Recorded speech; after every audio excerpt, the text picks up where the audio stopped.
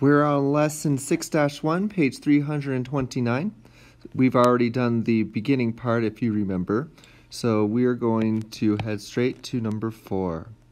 So Caddy has six times as many nickels as Sean. Sean has 18 nickels. How many nickels N does Caddy have? Well, we know that we have six times as many, so this is a multiplication problem. So we put N, our mystery number, is 6 times as much as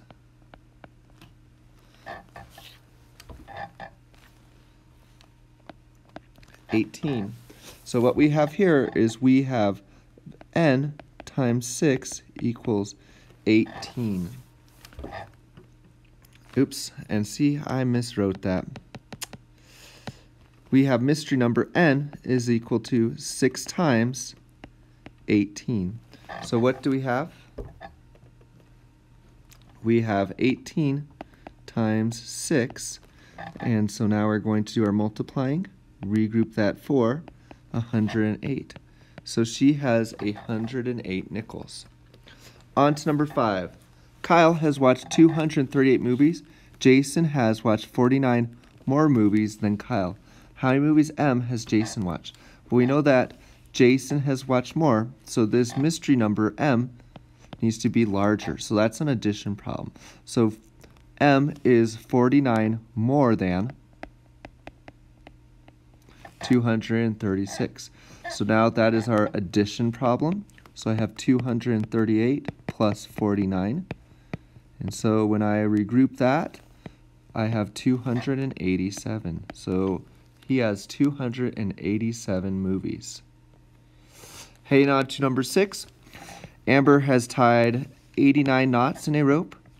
Hunter has tied three times as many knots in a rope as Amber. How many knots K did Hunter tie? Well, we have three times as many. So K, this mystery number, is three times as many as, or as much as, 89. So I have 89 times 3. So when I multiply, 3 times 9 is 27, regroup. 3 times 8 is 24, plus 2 is 26. So she has tied 267 knots. Head on over to number 7. Tia sells 292 newspapers. Tess sells 117 more newspapers than Tia. How many newspapers N does Tess sell? Well, we know that N is a bigger number because she has sold more. So this is a more than or addition problem. So I'm going to add my 2 up. And I get 409. As a model, this is what it would look like. We have Tia has 292. Tessa's sold 117 more. So I'm adding that 117 to the 292 that Tess had. So then I would just figure out what does that equal. A model for number 6 would look like this. Amber's tied 89. And then it says that Hunter's times done three times as many. So that would be three boxes. So those are what my models look like for this. Number 8's a little bit different now. So let's check.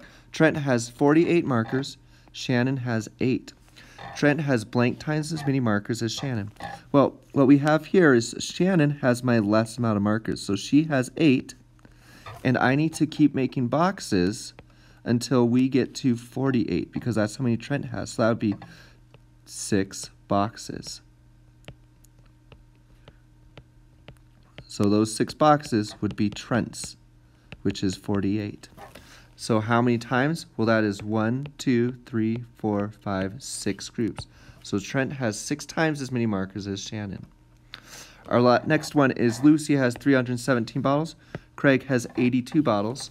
Lucy has blank more bottles than Craig. Well, what I have here is Lucy has more. So I'm going to start with my model of Lucy. She has 317. This whole thing is that. But now, what you'll notice is that's a horrible there we go. What you'll notice is Craig has 82. So I have this 82 here. And what I need to do is I need to figure out how many more, this mystery part. So what I'm going to do is I'm going to take away this 82. I'm cutting it off. And what math operation is that? That will leave me with what's left, which is subtraction. So I have 317 and I just cut off or took away 82. So I have 235. So Lucy has 235 more bottles than Craig. Now we'll head to our back.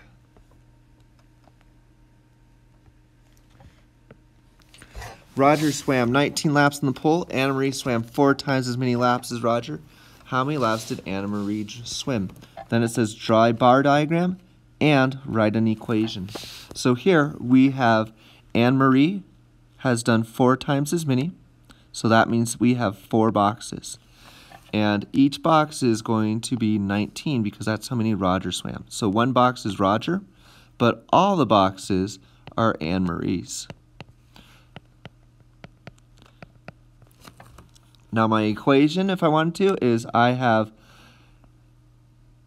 oops, not N. We will use L for laps. So L for laps is equal to 4 times as many as 19. So on the side, I would do 4 times 19. 4 times 9 is 36. Regroup. 4 times 1 is 1, plus 3 is 7 for 76. So that would be 76 laps. Heading on to number 11. Nina says the equation 6 times 12 times 50 means 60 is 12 times as many as 50. Julio says the equation means 60 is 50 times as many as 12. Who is correct? Well, we have this first one always tells us our group size. So we have 12 groups of 50. However, what I would like to notice is that they are both correct. The reason why is because of that commutative property. Remember, 2 times 3 is equal to 3 times 2. So it doesn't matter which order we do if we're just looking for that answer. Number 12. The amount that is left after dividing a number into equal parts is called what? Well, if I remember from class, this is my setup. So we have the dividend is inside, the outside is my divisor, and the answer is that quotient. So let's check. The amount that is left after dividing a number into equal parts is called what? So if you remember, we also then added an extra part, which is this. It's the part that's left. That is our remainder. That is the leftover part after we divide. So now we can use this problem to solve. We have 13 divided by 4. Well, we have one group, two groups, three groups, four groups, and then how many are in each group? Well, we have one, two, three. So we have three in each group, and there's one left over. So our answer is 3, remainder 1. Number 13, a shirt is on sale for D dollars. The regular price is four times as much. Todd has enough money to buy two shirts at the regular price. How many shirts can Todd buy at the sale price? Well, here's our tricky part. The shirt is on sale for D dollars. So this is my sale price.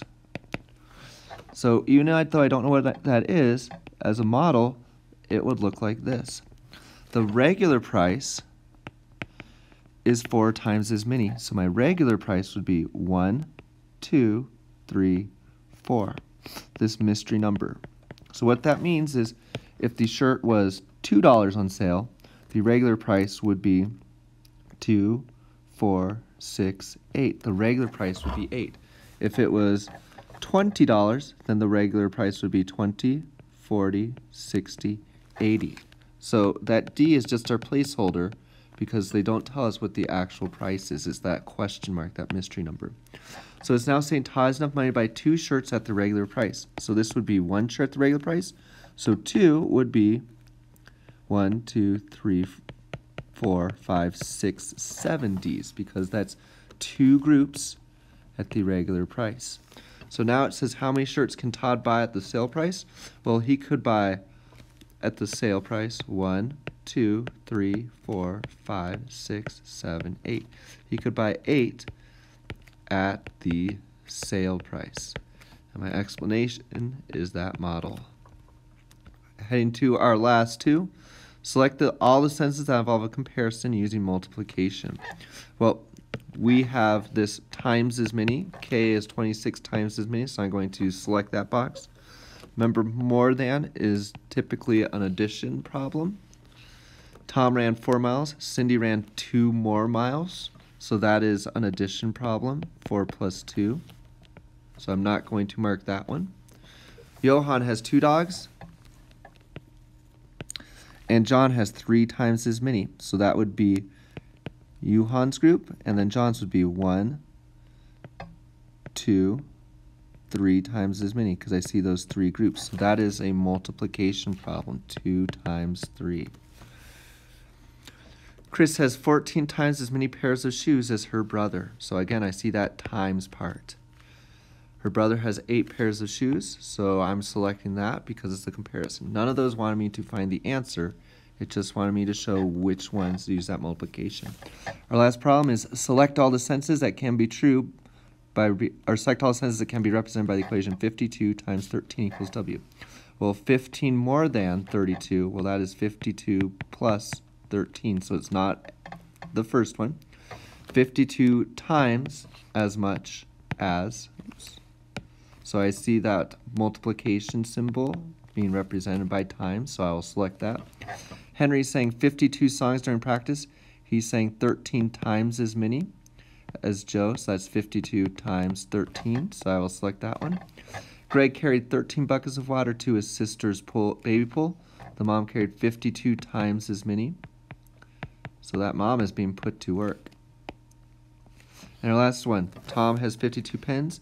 Johan has 13 fewer. Well, that's 52.